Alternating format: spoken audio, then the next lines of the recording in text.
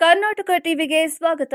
ರಾಯಚೂರು. ಬೇಸಿಗೆ ಶುರುವಾದಂತೆ ರಾಜ್ಯದ ಜನಕ್ಕೆ ವಿದ್ಯುತ್ ಶಾಕ್ ತಟ್ಟು ಲಕ್ಷಣಗಳು ಎದುರಾಗಿವೆ. ಇಡೀ ರಾಜ್ಯಕ್ಕೆ ಅತಿ ಹೆಚ್ಚು ವಿದ್ಯುತ್ ಪೂರೈಸುವ ವಿದ್ಯುತ್ ಉತ್ಪಾದನಾ ಘಟಕಗಳು ಸ್ಥಗಿತಗೊಂಡಿವೆ. ಇಷ್ಟಕ್ಕೆಲ್ಲ ಕಾರಣ ಕಲ್ಲಿದ್ದಲು ಕೊರತೆ. ಹೌದು.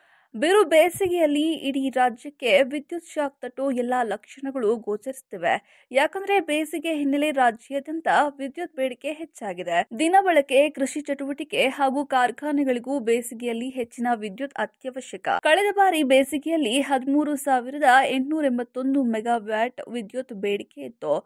ಆದರೆ ಈ ಬಾರಿ ಮಾರ್ಚ್ ಆರಂಭದಲ್ಲೇ ಹದಿನಾಲ್ಕು ಸಾವಿರದ ಏಳ್ನೂರು ಮೆಗಾವ್ಯಾಟ್ ವಿದ್ಯುತ್ ಬೇಡಿಕೆ ಇದೆ.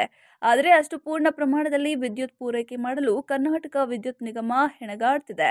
ರಾಜ್ಯಕ್ಕೆ ಅತಿ ಹೆಚ್ಚು ಅಂದ್ರೆ ಶೇಕಡಾ ನಲವತ್ತರಷ್ಟು ವಿದ್ಯುತ್ತನ್ನು ರಾಯಚೂರು ತಾಲೂಕಿನ ಶಕ್ತಿನಗರದ ಆರ್ಟಿಪಿಎಸ್ ಹಾಗೂ ಯರಮರಸ್ನಲ್ಲಿರೋ ವೈಟಿಪಿಎಸ್ ಕೇಂದ್ರಗಳು ಪೂರೈಸುತ್ತಿವೆ.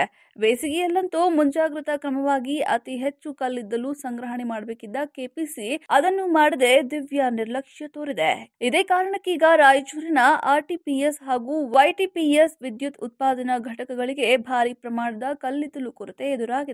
ಹೀಗಾಗಿ ಆರ್ಟಿಪಿಎಸ್ನ ಎಂಟು ಘಟಕಗಳಲ್ಲಿ ಐದು ವಿದ್ಯುತ್ ಉತ್ಪಾದನಾ ಘಟಕಗಳು ವಿದ್ಯುತ್ ಉತ್ಪಾದನೆ ಮಾಡದೆ ಸ್ಥಗಿತಗೊಂಡಿವೆ.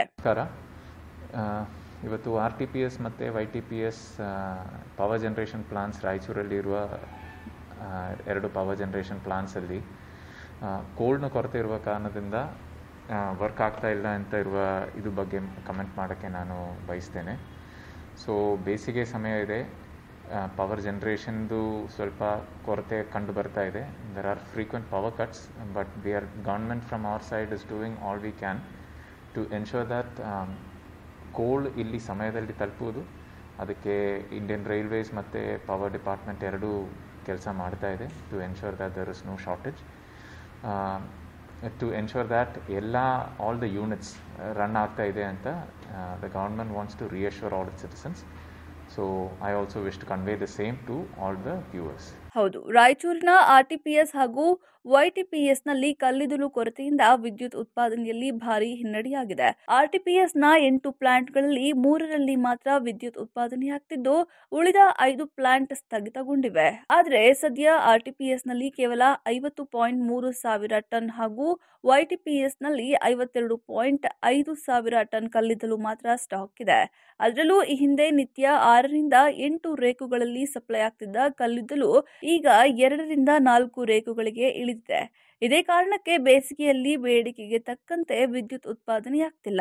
ಆರ್ಟಿಪಿಎಸ್ ಹಾಗೂ ವೈಟಿಪಿಎಸ್ನಲ್ಲಿ ಬೆರಳೆಣಿಕೆಯ ದಿನಗಳಾಗುವಷ್ಟು ಕಲ್ಲಿದ್ದಲು ಮಾತ್ರ ಸ್ಟಾಕ್ ಇದೆ. ಇದು ಹೀಗೆ ಮುಂದುವರೆದ್ರೆ ಇಡೀ ರಾಜ್ಯ ಕಗ್ಗತ್ತಲಲ್ಲಿ ಮುಳುಗುವುದು ಪಕ್ಕ ಅಂತ ಹೇಳಲಾಗ್ತಿದೆ. ಕಾರಣ ಏನಂತಂದರೆ ಕಲ್ಲಿದ್ದಲಿನ ಕೊರತೆ ಹೇಳ್ತಾ ಇದ್ದಾರೆ ಅಧಿಕಾರಿಗಳು. ಎಲ್ಲೋ ಒಂದು ಕಡೆ ಸರ್ಕಾರ ನಿರ್ಲಕ್ಷ್ಯ ವಹಿಸ್ತಾ ಇದೆ. ಯಾಕಂತಂದರೆ ಈ ಭಾಗ ವಿಪ್, ಬಿಸಿ, ಬೇಸಿಗೆಯಲ್ಲಿ ವಿಪರೀತ ಬಿಸಿಲಿರೋದ್ರಿಂದ ದಾಸ್ತಾನು ಮಾಡ್ಕೊಳ್ಬೇಕಾಗಿದ್ದ, ಆಗಿರ್ತಕ್ಕಂಥ ಅಧಿಕಾರಿಗಳು ಎಲ್ಲೋ ಒಂದು ಕಡೆ ಎಡವಿದ್ದಾರೆ.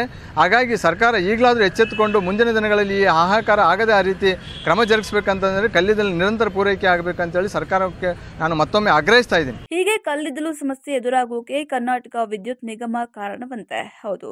ಕೆಪಿಸಿ ಕಲ್ಲಿದ್ದಲು ಕಂಪನಿಗಳಿಗೆ ಕೊಡಬೇಕಿದ್ದ ಸಾವಿರಾರು ಕೋಟಿ ರು ಬಾಕಿ ಉಳಿಸಿಕೊಂಡಿರೋ ಆರೋಪ ಕೇಳಿಬಂದಿದೆ. ಇದೇ ಕಾರಣಕ್ಕೆ ಕಲ್ಲಿದ್ದಲು ಕೊರತೆ ಉಂಟಾಗಿದ್ದು, ಕೂಡಲೇ ಸಂಬಂಧಪಟ್ಟ ಅಧಿಕಾರಿಗಳು ಎಚ್ಚೆತ್ತುಕೊಂಡು ಕಲ್ಲಿದ್ದಲು ಕೊರತೆಯನ್ನು ನೀಗಿಸಬೇಕಿದೆ. ಎಲ್ಲಿದ್ರೆ ಬೇಸಿಗೆಯಲ್ಲಿ ಇಡೀ ರಾಜ್ಯಕ್ಕೆ ವಿದ್ಯುತ್ ಶಾಕ್ ತಟ್ಟುವುದು ಪಕ್ಕಾ. ಅನಿಲ್ ಕುಮಾರ್ ರಾಯಚೂರು, ಕರ್ನಾಟಕ ನ್ಯೂಸ್.